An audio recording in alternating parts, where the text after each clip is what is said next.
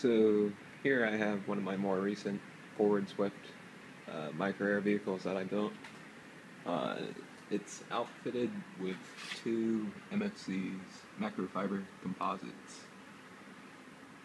and these allow it to uh, the wing to essentially morph, and I'm going to show you that. Uh, and they're they're set up in a Elevon configuration so that uh, you don't need a horizontal tail. There's enough reflex on the tail, or on the on the wing to make it so uh, you don't need a horizontal stabilizer.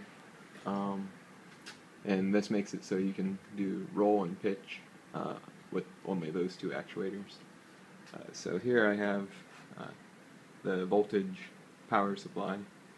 Uh, it produces 0 to 5 volts, which are then fed into these two uh, voltage amplifiers. They're 300 time amplifiers. So uh, if you put in 5 volts, you get 1500 volts out.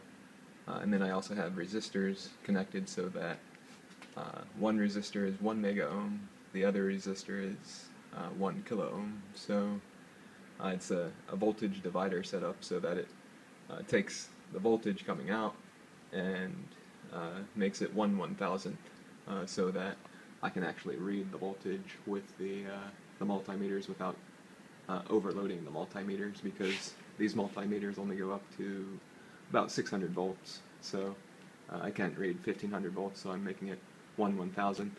So what I'm going to do, I'm going to turn on the power supply, and then I'm going to go ahead and actuate MFCs and show you what's going on. So uh, I'm, I'm actually able to go up to, to 1700 volts on the, MFCs without overloading them, even though they're actually rated for about 1500 volts. Uh, so I'm going to load one in the 1500 volt or 1700 volt uh, direction, and then I'm going to uh, actuate the other one to minus 500 volts, which is uh, essentially showing you the full range in an asymmetric uh, fashion. So Going to actuate the one on the, the right here first.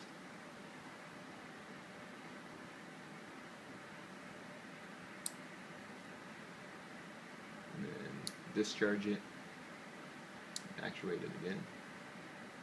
And the clicking noise you're hearing is just the, uh, the switch that I'm turning on and off. The MFC itself actually makes no noise.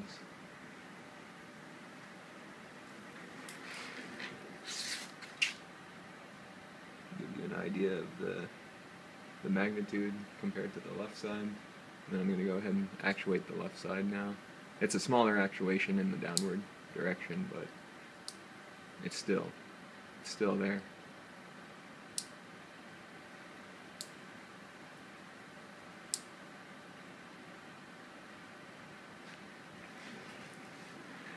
Come back, give you a different angle.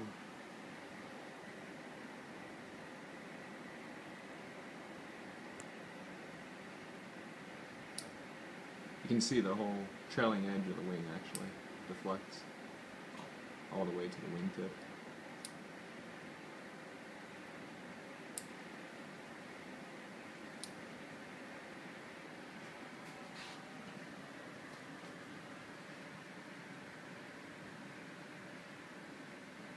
So the pretty much the entire airplane is made out of carbon fiber, and then uh, the the MFCs are bonded to a, a steel substrate uh, just real thin sheet metal steel. Uh, you can't really see it with the, the speckle pattern applied, but you can see the MFC underneath. Uh, so having a, uh, a high modulus substrate like steel gives you more curvature, uh, and then it's just really thin steel so that it's not uh, it's not necessarily stiff. It's just higher modulus compared to something like unidirectional carbon fiber, which even though carbon fiber has a relatively high modulus when you're dealing just with the fibers, when you uh, make it into composite form, it's actually uh, a lower modulus around 100 gigapascals, whereas steel is around 200 gigapascals.